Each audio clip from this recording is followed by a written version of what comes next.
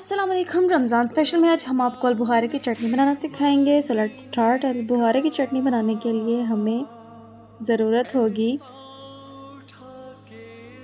इमली के पानी की अलबुहारे ज़ीरा, नमक, मिर्च, चीनी, पिसे हुए बादाम और चरमास इमली हमें 150 ग्राम चाहिए, अलबुहारे हमें 150 ग्राम चाहिए चरमाक्स हमें 100 ग्राम चाहिए, तीन से चार चुटकियाँ हमें मिर्च की चाहिए, कलर के लिए एक चम्मच ज़ीरा और एक चम्मच नमक चाहिए। ये इमली का पानी आप देख सकते हैं। और जो चीनी है, वो हमें वन एंड हाफ़ के जी चाहिए।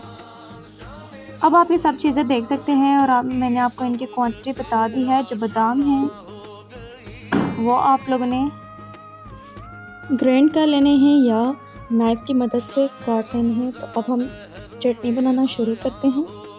सबसे पहले आप चूल्हे को तेज़ आँच पर खोल लें। इसके बाद आप लोग इमली का जो पानी है, वो इसमें शामिल कर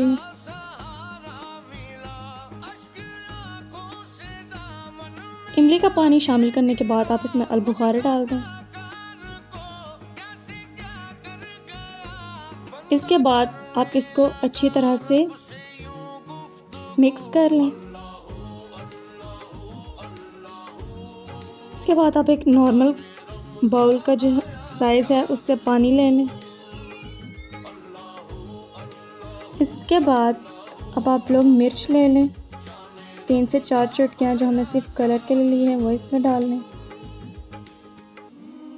और एक चम्मच जो नमक था वो इसमें डाल लें। इसके बाद आप इसको अच्छी तरह से मिक्स कर लें। मिक्स करने के बाद आप इसको 20 मिनट तक पकाएँ।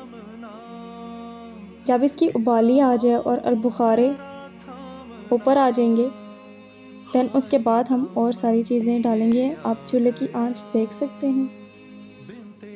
आँच आप लोगों ने ज़्यादा रखनी है ताकि ये अच्छे से पक जाए।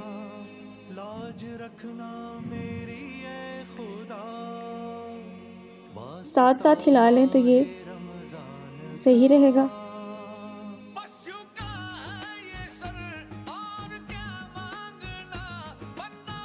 इसके बाद आप हम देख सकते हैं कि अलबुखारे ऊपर आ गए हैं। बीस मिनट के बाद आपने ये देखना है। अब जब अलबुखारे ऊपर आ गए हैं तो हमने इसमें जो हमारी चीनी है, वो शामिल कर लेनी है। सो अब आप इसमें चीनी शामिल कर लें।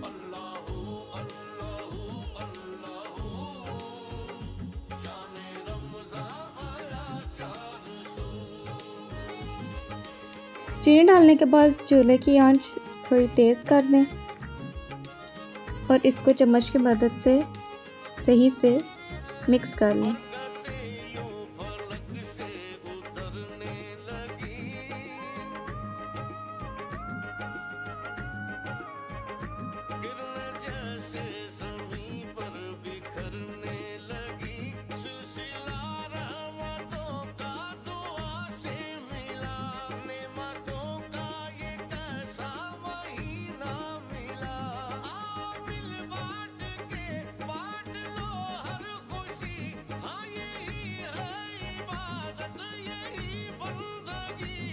चीनी डालने के बाद 10 मिनट वेट करें।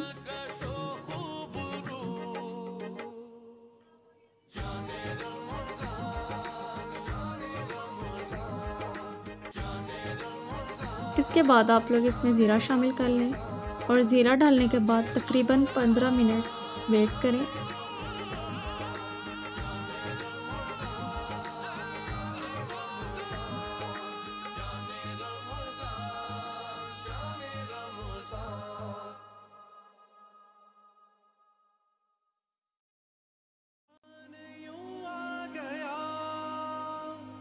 के रहमत ये फिर छा गया।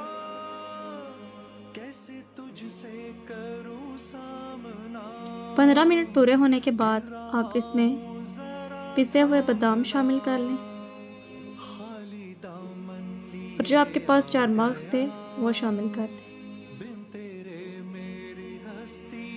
ये दोनों चीज़ें डालने के बाद आप इसको अच्छी तरह से मिक्स कर लें। सो अब आपकी अलबुखारे की चटनी रेडी है?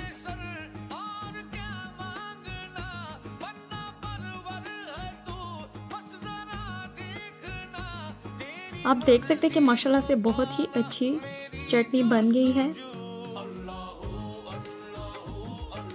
चटनी माशाल्लाह से बहुत ही आला बनी है। आप लोग भी इसको ट्राई करें, आपको पसंद आएगी। और आपके रमज़ान में, आपके फ्रूट चाट में टेस्ट को बढ़ाने के लिए बहुत हेल्पफुल रहेगी कमेंट करके बताइए कि आपको रमज़ान स्पेशल की फ़र्स्ट रेसिपी अलबुहारे की चटनी कैसे लगी और कितनी हेल्पफुल रही आपके लिए thanks for watching our video and also subscribe the food world and never forget to hit the bell icon. Thank you.